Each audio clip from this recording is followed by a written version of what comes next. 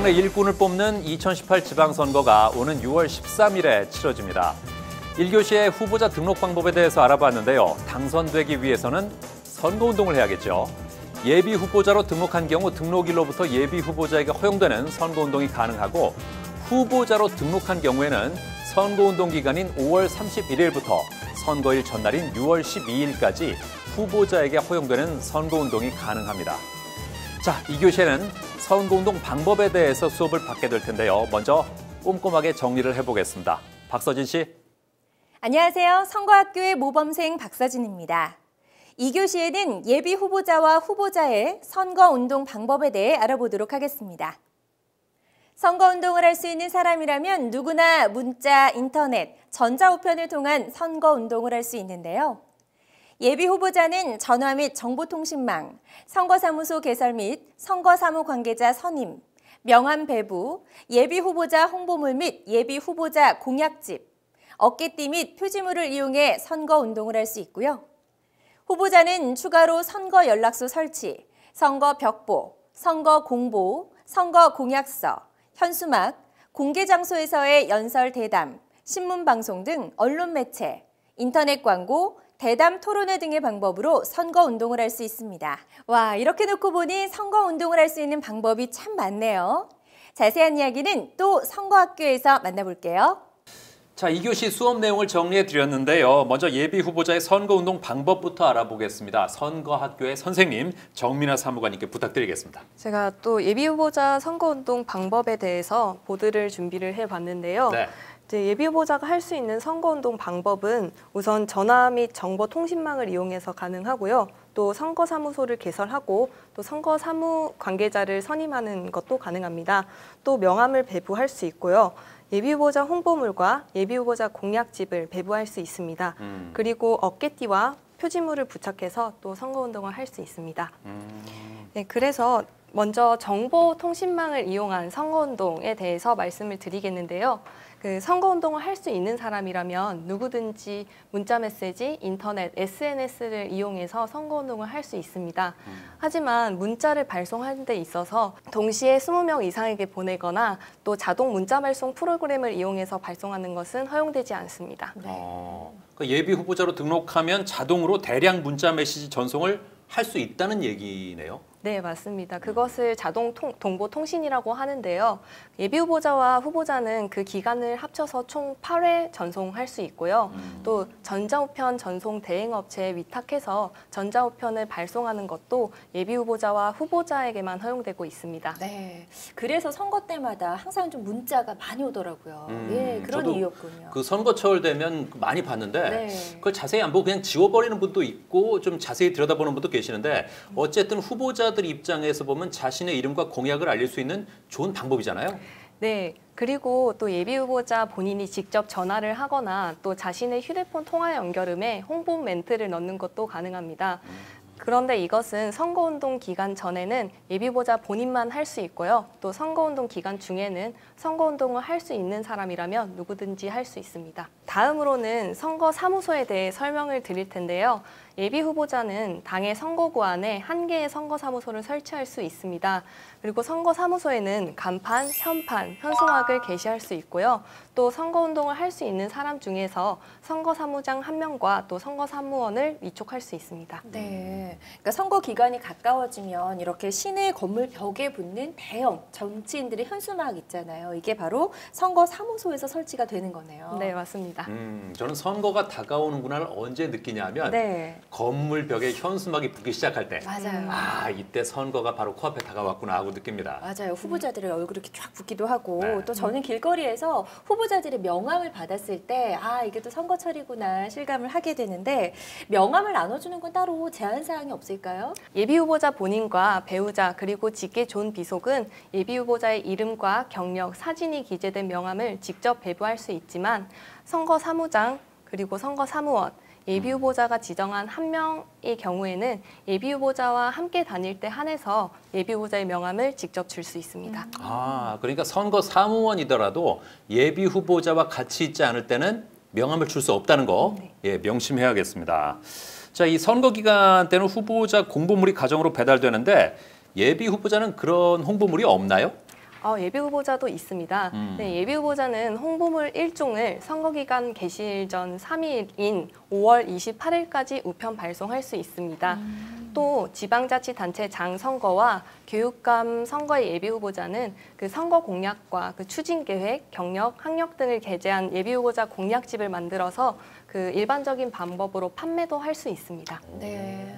그러니까 홍보 방법이 생각보다 꽤 여러 가지가 있다는 생각이 들고요. 음.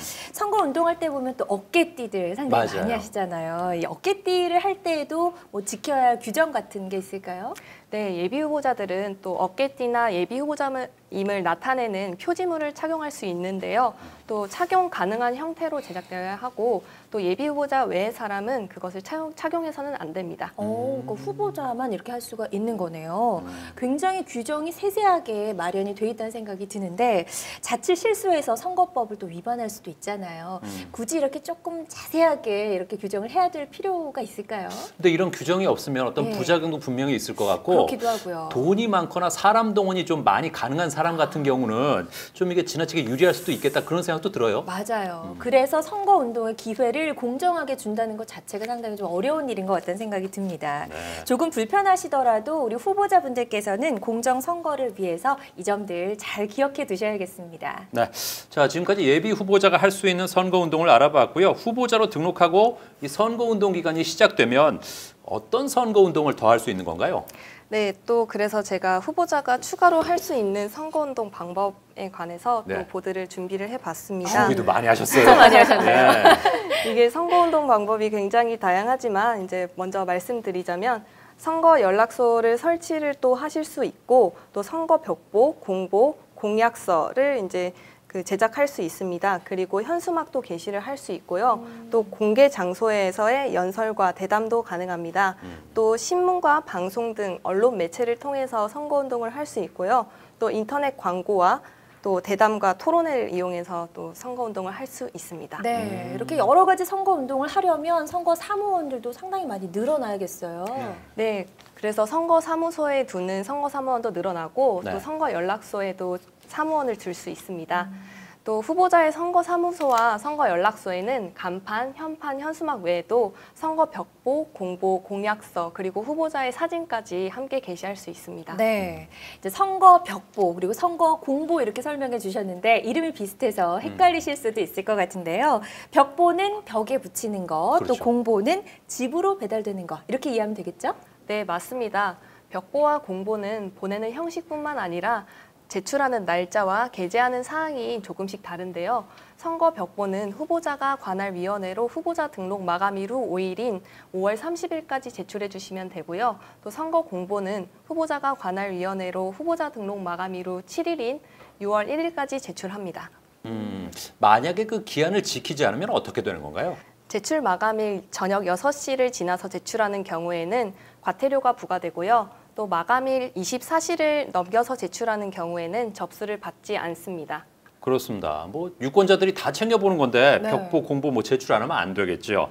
근데 공보는 지방자치단체장과 교육감 후보는 12면 이내로 지방의원 후보는 8면 이내로 작성해야 된다 그래요. 네, 그리고요 선거 공보 둘째 면은 후보자 정보 공개 자료 게시면인데요. 후보자 등록을 했을 때 제출했던 서류 내용들 있잖아요. 즉 재산 상황, 병역상, 세금 납부 및 체납 실적. 전과 기록 그리고 학력, 경력 등이 공개된다고 하니까요. 음, 아주 꼼꼼하게 좀 틀린 점이 없는지 체크를 잘 하셔야 될 것 같습니다. 음, 네, 맞습니다. 그리고 지방자치단체장과 교육감 후보는 또 공보와 관련해서 한 가지 더 유의해야 할 사항이 있습니다. 어, 웬만한 건 다 본 것 같은데 아, 또 뭐가? 또 남았군요. 네. 뭡니까?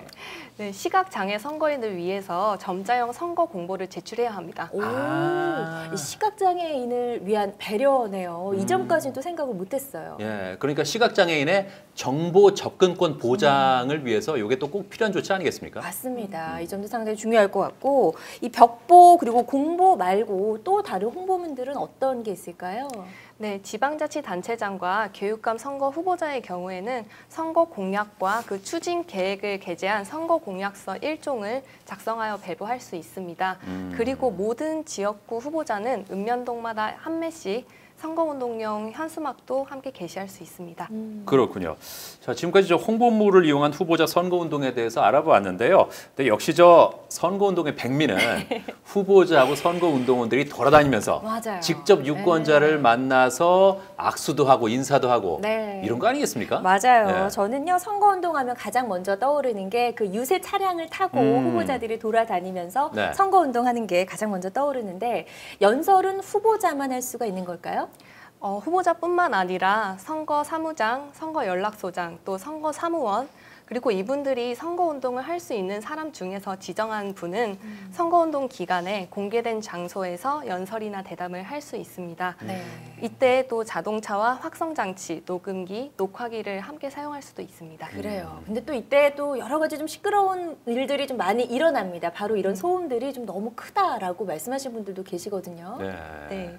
그래서 공직선거법에서는 확성 장치는 연설 대담을 할 경우에만 사용할 수 있도록 규정하고 있고 또 선박, 열차와 그 터미널 구내 등 또 연설이 금지되는 장소를 규정하고 있습니다. 음. 또 전국 동시 지방선거에서는 자치 구시군 의원 선거에서 휴대용 확성 장치만을 사용하도록 제한하고 있죠. 네. 음, 특히 저 공개된 아파트 단지 같은 곳에서 연설할 때 그 소리가 너무 커서 네. 아니 우리 애 공부해야 되는데 집중 못하게 이게 무슨 일이냐. 근데 뭐 그런 불만이 들어오는데 네. 연설 대담이 가능한 시간이 정해져 있으니까 그 주민한테 피해가 갈 정도로 시끄러운 소리를 내는 거는 당연히 좀 자제를 해야겠습니다. 네, 그래야 될 것 같고요. 또 저는 선거운동 하니까요. 사람들이 이렇게 단체복 맞춰 입고 춤추는 그런 선거운동도 좀 많이 떠오르거든요. 이거는 아무나 다 할 수 있는 건가요? 아니면 제한이 있나요?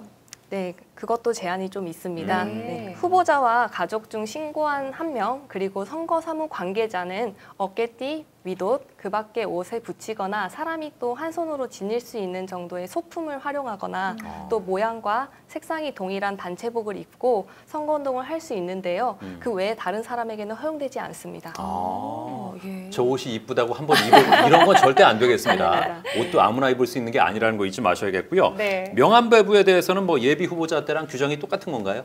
네, 명함을 줄 수 있는 배부 주체는 예비 후보자 때와 동일한데요. 그 배부 장소가 좀 확대가 됩니다. 음. 그 예비 후보자의 경우에는 선박, 전기 여객 자동차, 또 열차, 전동차, 항공기 내부와 그 터미널, 역, 공항의 개찰구 안, 그리고 병원, 종교시설, 극장 내에서는 명함을 배부할 수 없는데요. 음. 후보자는 선거운동 기간 동안 호별 방문만 아니라면 장소와 상관없이 명함을 배부할 수 있습니다. 아, 네. 그 지금까지 후보자들이 직접 돌아다니면서 할 수 있는 선거운동에 대해서 자세히 알아봤는데요.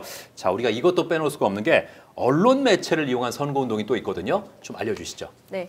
언론 매체를 이용한 선거 운동은 신문 광고, 또 텔레비전 및 라디오 방송 광고, 또 후보자 방송 연설 및 KBS에서 방송하는 경력 방송 이 네 가지가 있는데요. 음. 또 본인이 어떤 선거에 입후보하느냐에 따라서 이용할 수 있는 언론 매체의 종류와 음. 또 횟수가 다르니 규정을 정확하게 아셔야겠습니다. 네, 지금 말씀해 주셨는데 언론 매체 같은 경우에는 주로 이제 지방 자치 단체장 그리고 교육감 후보자들이 이용할 수 있다고 하더라고요. 그래서 지방 의원의 후보자는 따로 좀 이용할 수가 없는 건가요? 네, 그래서 모든 후보자는 인터넷 언론사의 홈페이지를 통해서 인터넷 네. 광고를 할 수 있습니다. 음, 그러니까 인터넷 언론사에 광고를 할 수 있다는 얘기는 언론사가 아니면 광고를 할 수 없다는 말인가요? 네, 인터넷 언론사에 해당되는 포털 사이트에는 광고를 할 수 있지만 일반 SNS 매체는 그 인터넷 언론사로 분류되지 않기 때문에 네. 음. 광고를 할 수 없습니다. 아, 그렇군요. 자, 이제 저 후보자 토론회에 대해서 좀 알아보겠습니다. 후보자들이 서로 토론하는 모습을 보면 아, 저 사람이 어떤 생각을 가진 사람인지 또 상대의 반대되는 의견에 대해서는 어떤 식으로 받아들이는지 이런 걸 알 수 있는데요. 어, 지방선거에서도 후보자 토론회가 있죠. 네, 물론입니다. 네, 선거방송 토론위원회 주관으로 그 선거 기간 동안 광역 그리고 지- 기초자치단체장과 교육감 선거 후보자가 참가하는 토론회를 개최합니다. 또 이외에도 선거 기간 중에는 단체나 언론기관이 후보자를 초청해서 대담이나 또 토론회를 개최할 수 있고요. 네. 또 그렇지만 국가나 지자체 그리고 개인 간의 사모임에서는 토론회를 개최할 수 없습니다. 그렇습니다. 이런 토론회가 활성화되고 많은 분들이 지켜본다면 정말 후보자들이 정책으로 경쟁하는 정책 선거가 활성화되지 않을까 하는 생각이 드는데 특히 지방선거는 뭐 생활하고 직접적인 연관이 있는 문제들이 많이 정책으로 등장하는데 토론을 통해서 좀 후보자들의 정책을 유권자들이 잘 알았으면 좋겠어요. 맞습니다. 그래서 저도 투표하러 가기 전에 후보자 토론회를 꼭 한번 챙겨보고 투표를 하러 갈 생각입니다. 아 이런 자세 좋습니다. 예. 자 이렇게 해서 선거 학교 1, 2교시를 전부 마무리하게 됐는데 이렇게 금방 저 졸업을 해도 되는 건지 모르겠어요. 박서진 씨는 혹시 저 네. 어, 이렇게 쭉 한번 다 살펴보고 공부를 한 다음에 네. 내가 나중에 한번 선거에 나가봐야지 하는 생각이 든 건 아닌지 모르겠습니다. 아 사실요 네. 솔직하게 말씀드리면 처음에는 이게 너무 복잡하다는 생각이 들어서 네. 사실 엄두가 안 났거든요. 그런데 생각보다 굉장히 좀 빠르게 이해할 수 있게 사무관님이 설명을 잘 해주셔서 아 이게 사전 검토도 잘 해주시면 음. 네. 훨씬 가능하지 않을까 이런 생각이 좀 들었습니다. 음. 네. 네. 만약에 출마하게 된다면 사전 검토 잘 해주실 거죠? 다른 입후보 예정 자들 분들과 예. 또 공평하게 아. 예, 잘 해드리겠습니다. 역시 저 공정선거의 아이콘이세요. 그러네요. 예, 전혀 흔들림이 없으십니다. 그렇습니다. 이런 네. 자세 중요합니다. 네, 이번 지방선거에서도 선거관리위원회 많은 활약을 좀 부탁드리면서 자 오늘 선거학교에서 어려운 내용 잘 설명해 주신 인천광역시 선거관리위원회 정민아 사무관님께 감사의 말씀드립니다. 고맙습니다. 고맙습니다. 감사합니다. 예비 후보자는 직접 통화하는 방식으로 지지를 호소할 수 있습니다. 예비 후보자는 명함을 직접 줄 수 있습니다. 선거관리위원회에서 후보자 등록 서류 사전 검토를 도와드립니다. 후보자와 선거사무원은 공개 장소에서 연설, 대담을 할 수 있습니다. 바른 선거운동, 바른 선거 문화의 시작입니다. 오는 6월 13일 수요일은 제7회 전국 동시 지방선거가 치러지는 날입니다. 네, 오늘 지방선거에 대해서 확실히 공부할 수 있는 시간이었는데요. 입 후보 예정자 여러분들도 오늘 저희가 알려드린 내용 잘 숙지하셔서 올바르고 공정한 선거 잘 치르시길 바라겠습니다. 지방선거는 생활민주주의, 동네 민주주의를 실현하는 좋은 기회입니다. 여러분 모두 소중한 기회 놓치지 마시고 지방선거에 꼭 참여해 주시길 부탁드립니다. 함께해 주신 여러분 감사합니다.